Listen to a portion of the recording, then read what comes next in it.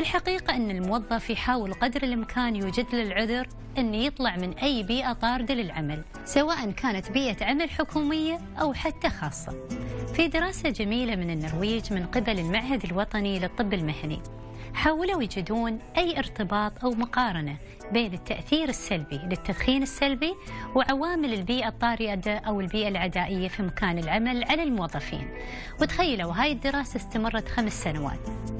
وأكثر ثلاث عوامل شافوا أنها لها نفس تأثير السلبي للتدخين السلبي هي التالي.